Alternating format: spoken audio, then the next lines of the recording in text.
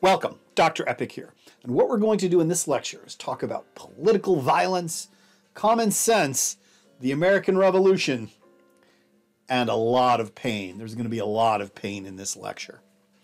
We're going to follow the outline marked up above. We're going to talk about why have a government, and let's go ahead and proceed.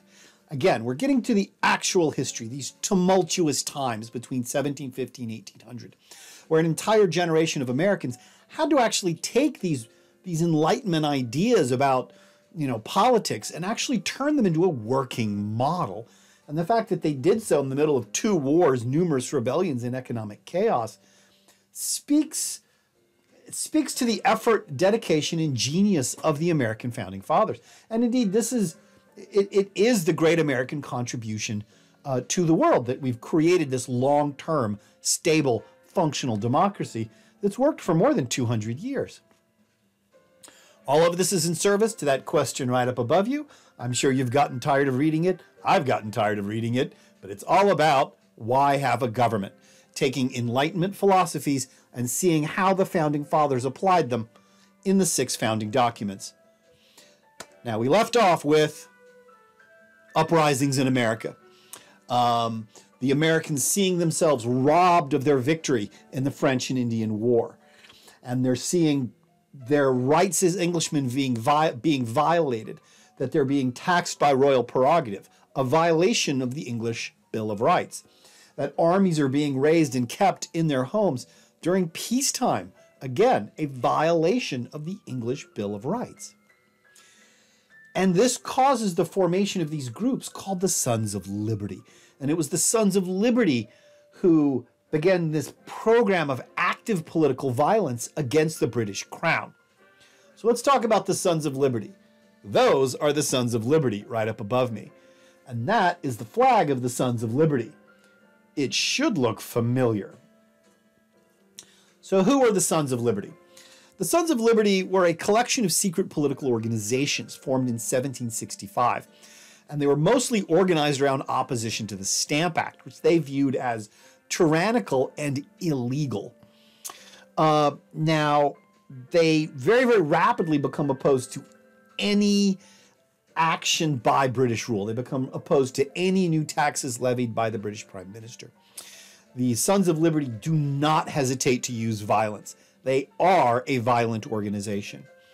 They issue threats they tar and feather tax officials. That's what they're doing with that poor guy. They dragged him out of his home down the street to the Liberty Tree in downtown Boston, poured tar all over him, dished him with feathers, and now they are pour, filling his mouth with hot tea. They are burning down houses. They are burning down a tax office. Often these tax officials would show up from Britain, come to their house, uh, and their tax office has been burned to the ground the night before. Well, I can't work today. And then he goes home to find his own home on fire. And the Sons of Liberty standing around, waving their flag and singing songs. And if they were asked to burn their house down, uh, nobody saw anything. It must have been those Indians. And they organized these angry and rowdy protests. Dozens, if not hundreds, of people in downtown Boston, in these downtown cities, gathered around liberty trees. I'll go into what a liberty tree is in just a second. Giving angry speeches. They are citing John Locke. They are citing the Baron Montesquieu. They are accusing the English crown of stealing their victory from the war, of unjustly taxing them, and of dissolving the social contract between the king and his people. And just like James II was, was deposed back in the 17th century, this King George III, he's going to get deposed as well. And some of these organizations, some of these Sons of Liberty, this is how radical some of these guys are. They even oppose American slavery. They become very racially tolerant. And indeed, the most radical group, the most radical group of the Sons of Liberty, the one in Boston, there's African American members uh, in the Sons of Liberty singing songs, waving, waving the flag of the Sons of Liberty, giving angry speeches about freedom, about democracy, about John Locke and Baron de Montesquieu. And you guys, you're like reading this and you're listening to this and you're thinking, oh my God, 18th century political theory, how incredibly boring. But it wasn't, it wasn't boring in 1760s. You've got people gathered underneath liberty trees giving angry, angry speeches and using Thomas Hobbes, using John Locke, using the Baron de Montesquieu the most radical group of these Sons of Liberty. There's Sons of Liberty in all the major cities of the colonies. The most radical group of the Sons of Liberty are in Boston, and they are headed by that fellow on the upper left. And he becomes quite famous in the lead up to the American Revolution. That is Sam Adams. And Sam Adams is a local brewer. He made, he made beer. That's what he did before he got into politics. Uh, so if you really want to feel, if you are, if you are old enough and like to enjoy a cool beverage, lift a Samuel Adams and you know lift one for a true American patriot because because he was he was a brewer. Anyway, uh, and it's also partially bankrolled. The Sons of Liberty in Boston are partially bankrolled by a, a prestigious local banker called John Hancock, and he becomes famous because he signs his name really big on the Declaration. And there was a big oak tree in downtown Boston, and this became known as the Liberty Tree. And there's a drawing of the Liberty Tree right up above. And in the Liberty Tree, they would make little dolls. And they would make these effigies of British colonial officials and hang them. They would give these fiery speeches under the Liberty Tree. They'd all slowly sit around drinking beer and sipping whiskey, getting more and more excited. They would talk about how the British crown is violating their liberties, how they stole the war, they stole the victory in the war from them, and plan action in the future, and occasionally force British officials to recant and resign their jobs. These new tax collectors would show up from England, and then there would be a big meeting under the Liberty Tree in downtown Boston. The Sons of Liberties would show up, they'd wave flags, they'd all get progressively more inebriated as the afternoon went on. Then somebody goes, I hear that new tax collector's in town.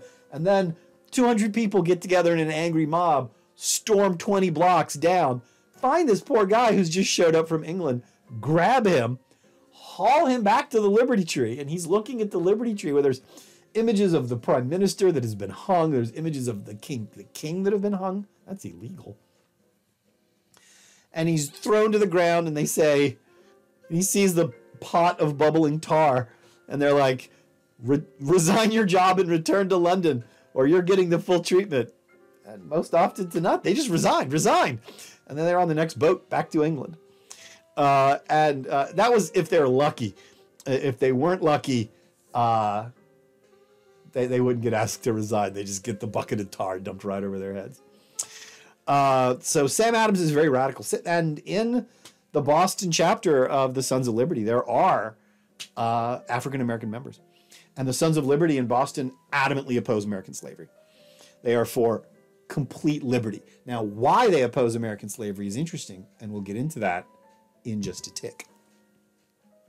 This is why all of the really big acts of political violence that take place before the American Revolution, they all take place in Boston. The Boston Massacre, where the Sons of Liberty taunt and start throwing rocks at British soldiers.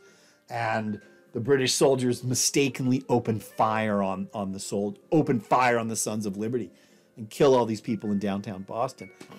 Uh, one of the times they get a meeting and they get really, really, uh, they get riled up and they decide, let's show that British governor a thing or two. And they storm off to another part of downtown Boston and they tear the governor's house down.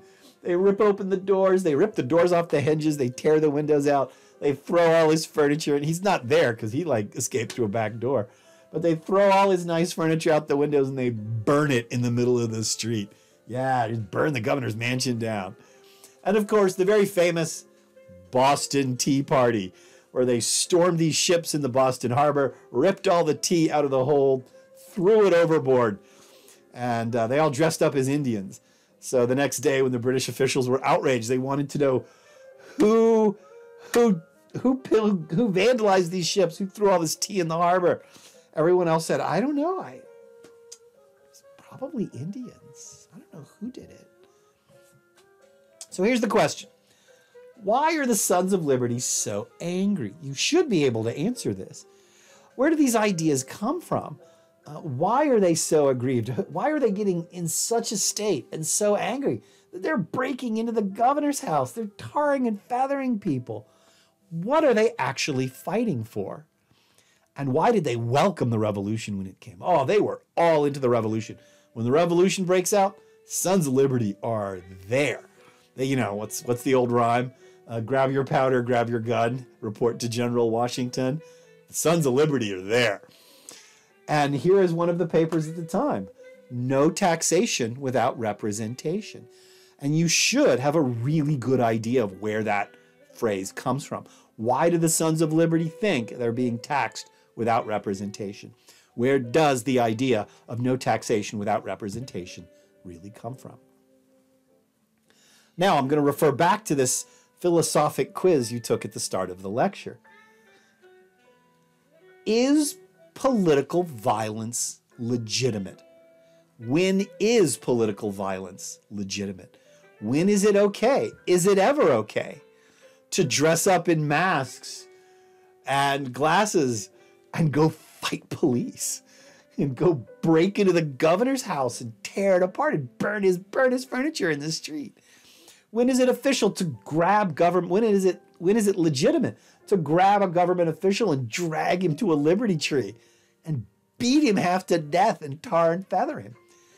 When does political violence become legitimate? And if the answer is yes, you should be able to say what's the difference between legitimate and illegitimate political violence. You should be able, and if your answer is no, you should be able to say no, but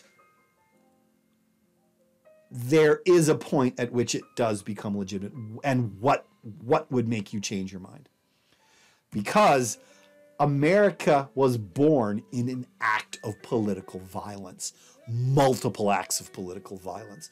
Most of them planned and instigated by sam adams all the way from tarring and feathering government officials burning the governor's house down fighting with police in the streets. The sons of liberty did all of that and the question I want to pose to you is are their complaints legitimate? Or are they just rabble rousing for the sake of rabble rousing? Are they just a bunch of, are they just a drunken mob?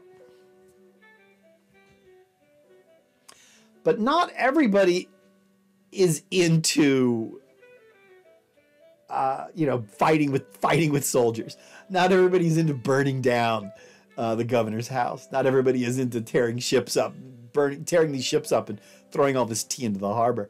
There is a legal, peaceful response to this.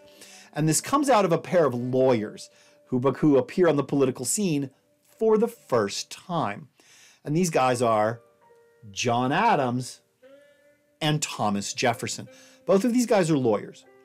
Uh, John Adams is the slightly more famous one, and he's the little more accomplished, slightly more accomplished lawyer. Uh, John Adams is basically Sam Adams's little known cousin. John Adams and Sam Adams are cousins. And John Adams is from Boston. Thomas Jefferson is, of course, a planter in Virginia. And uh, John Adams and Thomas Jefferson, but mostly John Adams, write a series of letters, letters to be published in uh, colonial newspapers, as well as letters being sent to Parliament, being sent to the king. And basically, they are making the legal argument that the acts being passed by this, by especially by Grenville, but by these series of incompetent prime ministers, you can't directly tax individuals in the American colonies, not without consulting local colonial governments. Because to do so is to tax by royal prerogative, which is a violation of the English Bill of Rights there is a legitimate, peaceful, legal argument to be made here. And this is the argument that Adams and Jefferson make. Look, the taxes are illegal, okay? Stamp Act, illegal. Sugar Act, illegal. And all these other acts that come later are illegal because they're not being passed by representative authorities. And they say, look, you have two options they say to England, Britain has two options. One, you have to be able to consult with local officials. The king approaches, say, the Virginia House of Burgesses and say, we want to pass these taxes. And if the Virginia House of Burgesses agrees, that is a legitimate tax. Or you give the colonies representation in Parliament. That's the legal argument. So it's not just the Sons of Liberty wrecking the place because they're wrecking the place. There is a peaceful legal option. And Adams and Jefferson, they they don't want to fight with police. They don't want to fight with soldiers in Boston. They don't really want to separate from the mother country, but they do want their complaints listened to, and they do have a legitimate complaint. And then there is this weird back and forth. There's a back and forth between the colonies and between the British government. I'm not going to go through every single little back and forth.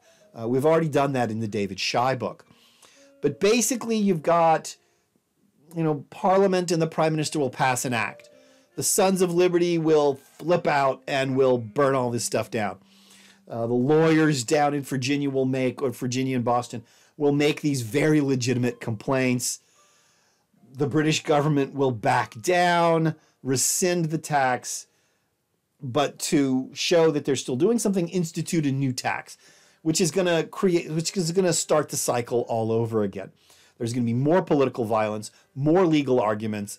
The British government will back down. The prime minister will resign, and that's what happens to George Grenville. Uh, he's succeeded by Townshend up above, and then Townshend comes in and says, "Well, we, the new prime minister has all the same problems. The British Empire is broke, and the Americans are refusing to pay their taxes." Uh, but they refused to listen to the legal arguments being raised by, you know, Adams and Jefferson, especially Adams. So they pass a new series of laws. The new series of laws have all the same problems. Uh, they institute more political violence, and the laws have to be rescinded, and the prime minister resigns, and a new prime minister comes in.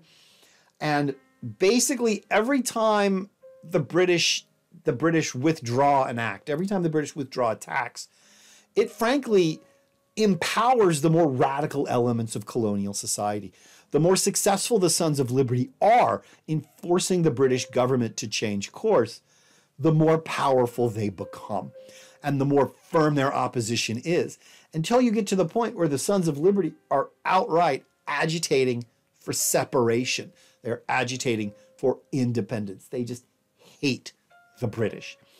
And this, of course, eventually you have the Boston Massacre. The Sons of Liberty get so outrageous that the British Army positions regiments in Boston and to trigger uh, the regiments, the Sons of Liberty start to protest the soldiers and they throw rocks and cobblestones. And the British, eventually, it's an accident. The British open fire, and that's the Boston Massacre. First man killed in the Boston Massacre, Crispus Attucks, um, African American.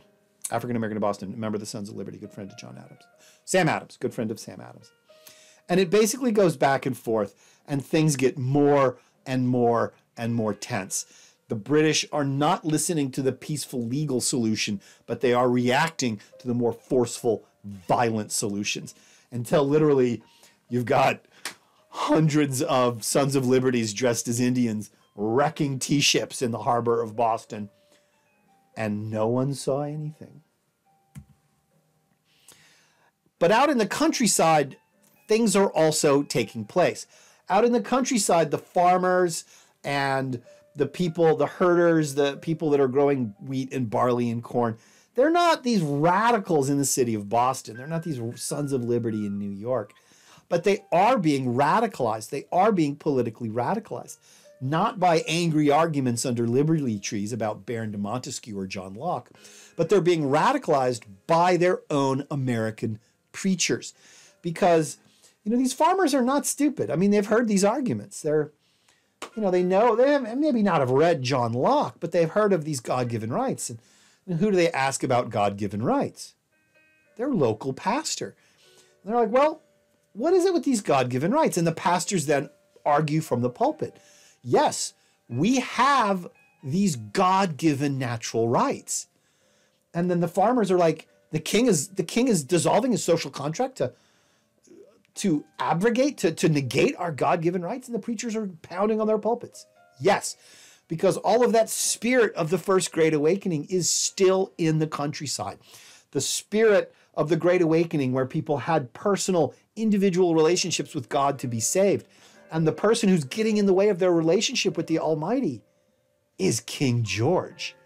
The countryside starts to become radicalized as well. It's not just angry Sons of Liberty in Boston.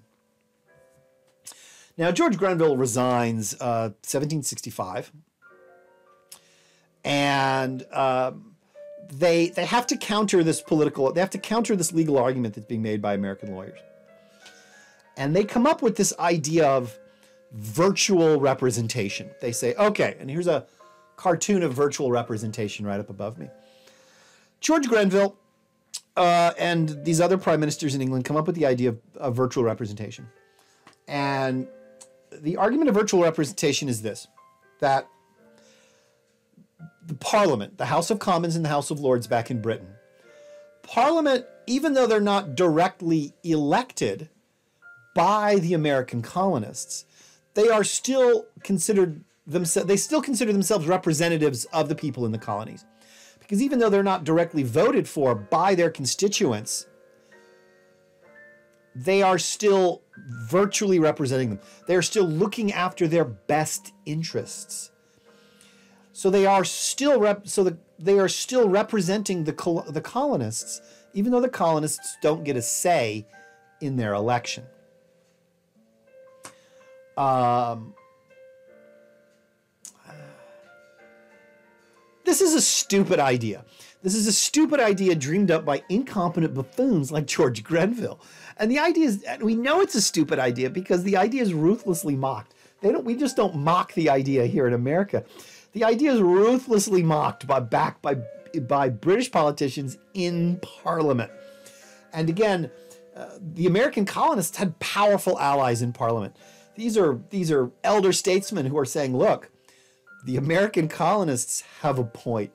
If you're going to directly attack individuals, you have to consult these colonial assemblies. You have to come up with a new relationship with the colonies, or you have to give the colonies members of parliament.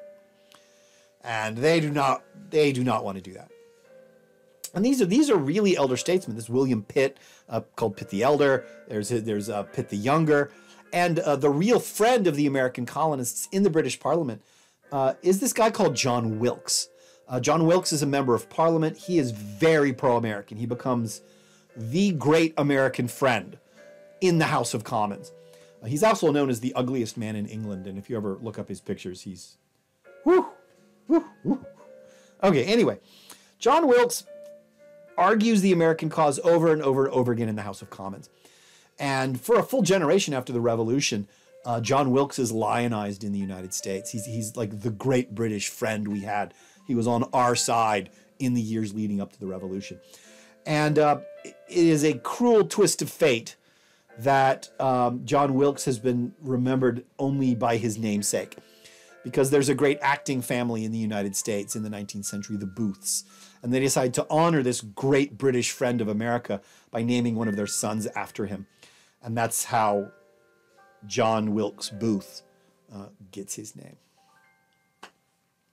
Interestingly enough, one of the few members of parliament and the, the one of their very few very talented generals is actually on the side of the Americans in parliament. He says, look, virtual representation is not a good idea. And uh, you can't actually force the Americans to do anything. He, he says that uh, fighting on the American colonies would be completely and utterly pointless. And this is actually one of the few decent generals uh, that Britain has. And, you know, he's fresh from his victories on the continent fighting with his allies, the Germans. This is, of course, Lord Cornwallis, uh, who we will also meet again in a tick. And there's something with this, with uh, there's something to be said for this, that all of the really bright talent, all the politically smart people, all the all the administratively brilliant people are siding with the Americans. That that we forget that a big chunk of British society, and a big chunk of British politics, British politicians, were actually in favor of the Americans. Uh, like John wasn't just you know John Wilkes or you know Lord Cornwallis. Uh, that all of the real talent in the British government was siding with the colonial argument. if not with the colonists. And increasingly, the king's government was comprised of various levels of idiots and incompetence and buffoons. These, these people were being appointed to high government officials. They were just completely, manifestly incompetent. Well, I'll give you an example. Uh, King George appoints as the Lord of the Admiralty uh, this this nobleman who is just completely incompetent, and he's in charge of the Royal Navy for the entire American Revolution. Um, he's so completely and totally incompetent that that they actually think about bringing him up on charges of treason after the American Revolution, after the British lose the American Revolution. He's not a good admiral. He's not a good Lord Admiral. He he's not really into you know the ship things and whether the ships have the right kind of copper hull or whether all the ships have things like you know sailors on board. Um, he's completely incompetent. He's not very good at being Lord Admiral. But what he's very, very good at is uh, drinking and playing cards. He's like, he's really good at drinking and playing cards. It's what he does most of his days. And um, one of the things he does is uh, he goes, he spends a lot of time at a place called the Hellfire Club, drinking and playing cards. And he likes to play these games that go on for like days. And he didn't want to stop uh, playing cards to eat. So they're playing cards, they're drinking whiskey, they're drinking Madeira wine, and they, they, they are hungry, so they should stop to eat. And, and the Lord Admiral goes, no, no, no, no, this is this hand is too good. I don't want to stop playing. So he instructs his servants that instead of just merely serving a plate of roast beef and bread, I'm about to blow your mind. He tells his servants to take the roast beef and place it between two pieces of bread. That way he can hold this in one hand. He doesn't get his hands all greasy so it doesn't mark the cards. He could hold his meal in one hand and drink and play cards with the other. And that is how Lord Sandwich invented his great discovery, the sandwich. Not a good Lord Admiral, in fact, completely and utterly incompetent. Uh, but he did invent the sandwich. So here's ultimately the question Why was King George appointing advisors, prime ministers, lord admirals, generals that were so utterly and completely incompetent? And the answer is simpler than you think. It's not that King George, there he is, George III.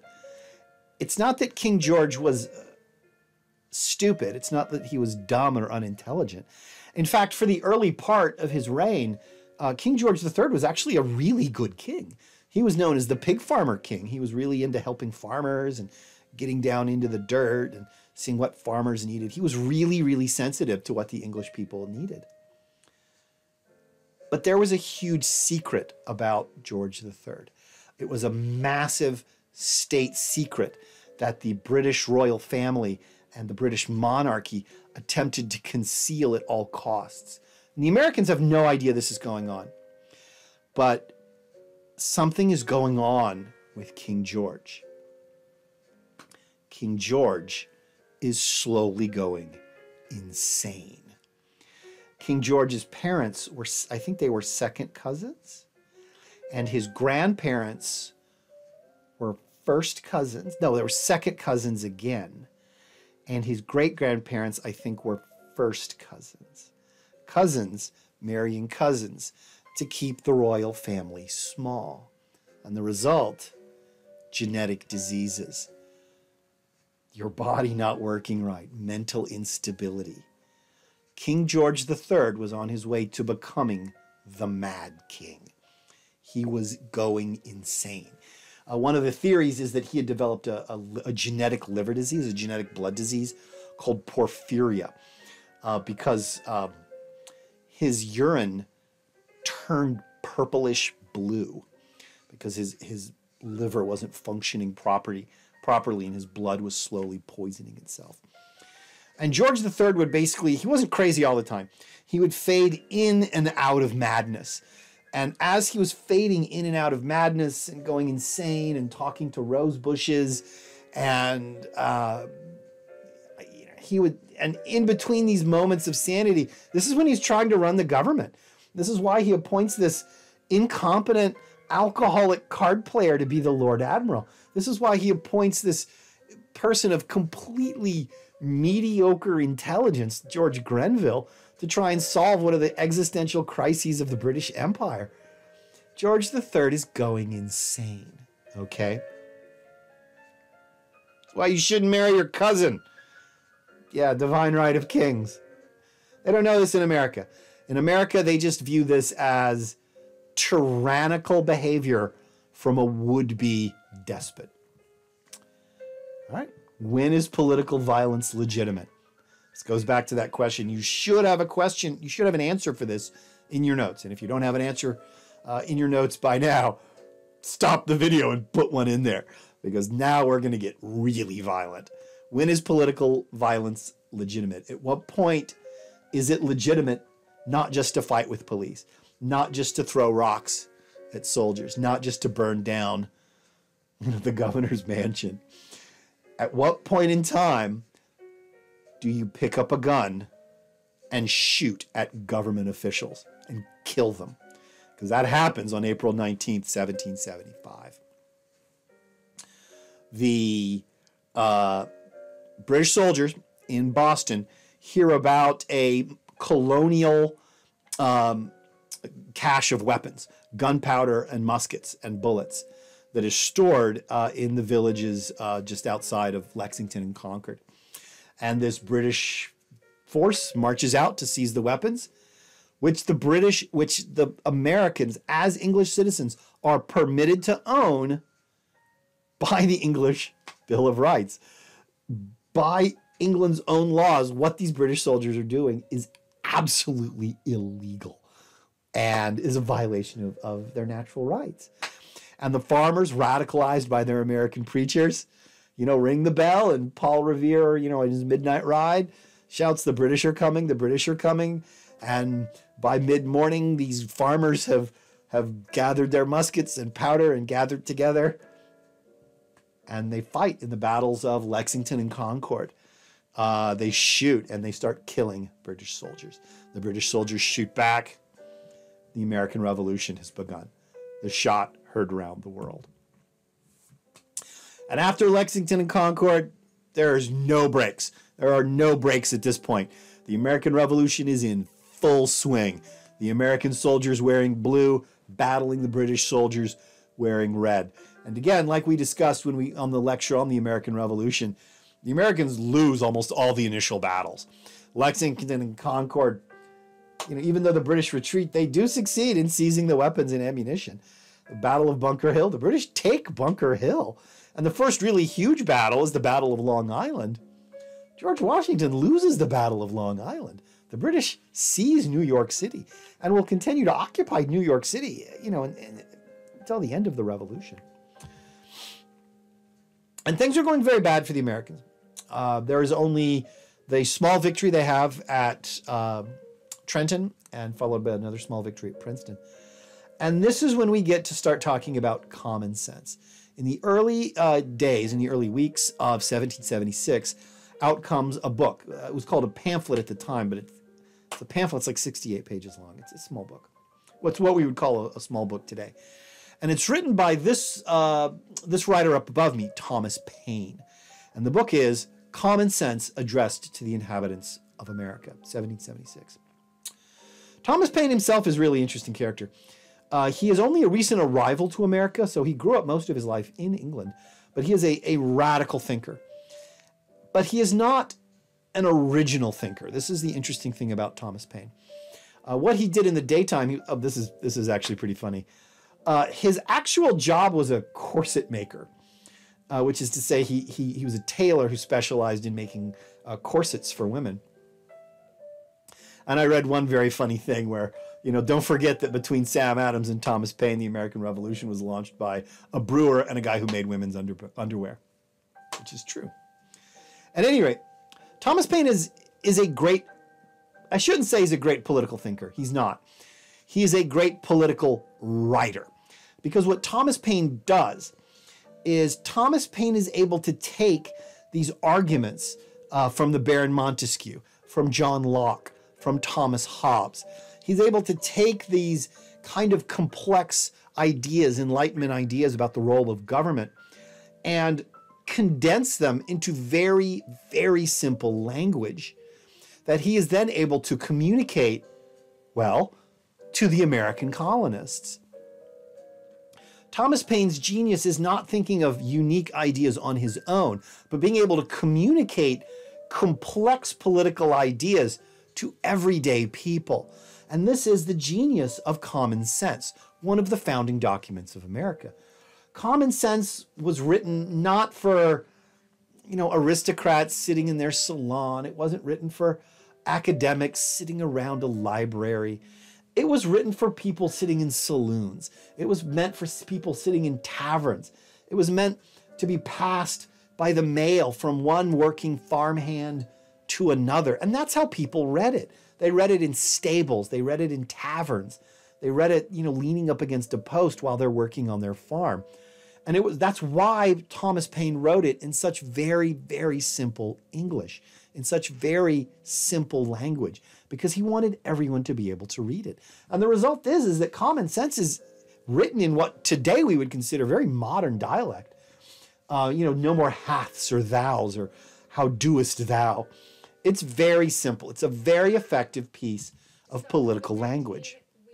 And what we're going to do is kind of pause for a moment and talk about Thomas Paine's major points, the points he makes in Common Sense.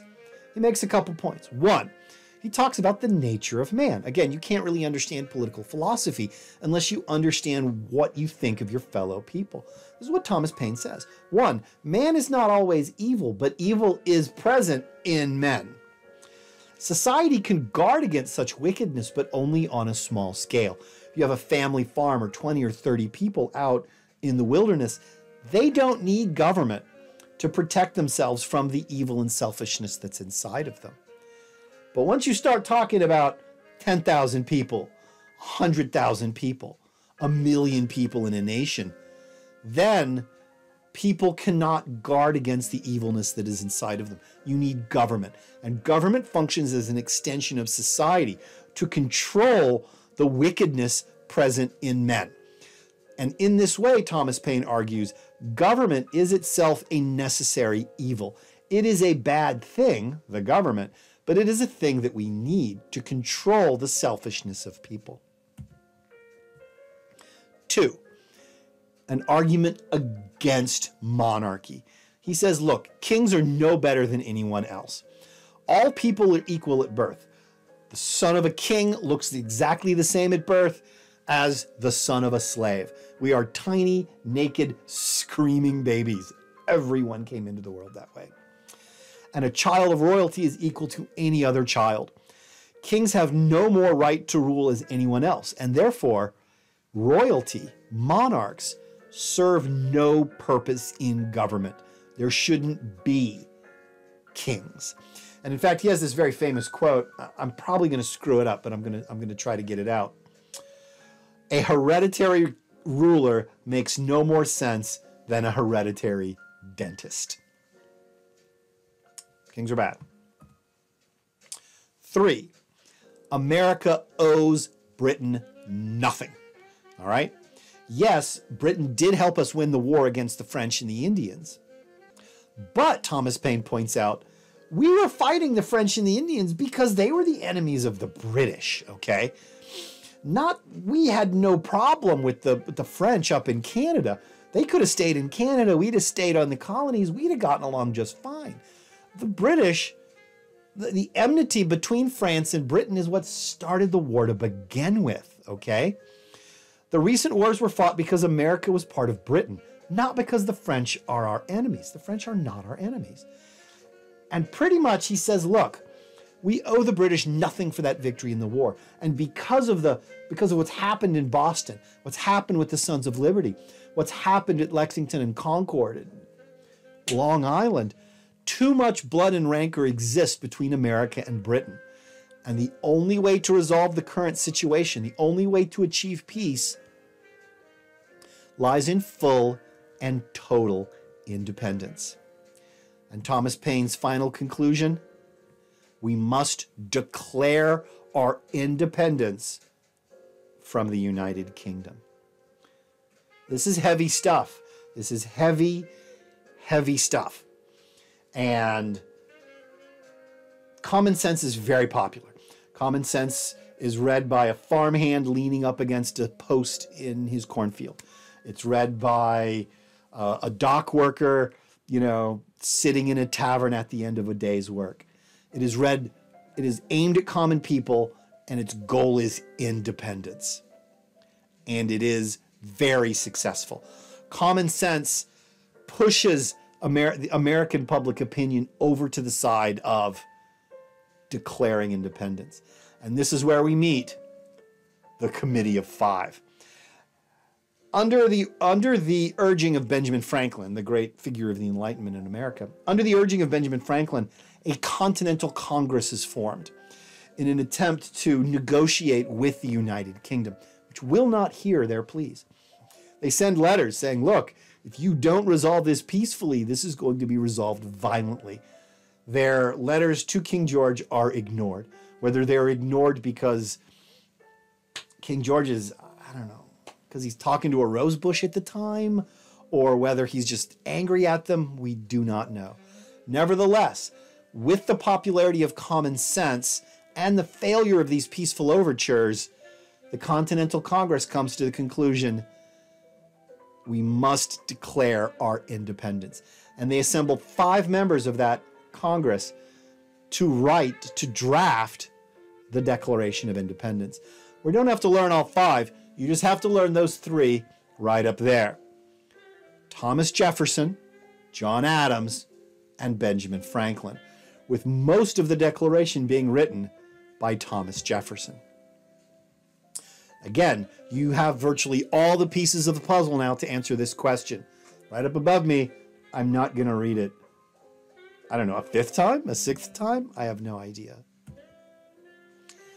And we're going to get the final pieces in this puzzle in the final lecture, and I will see you there.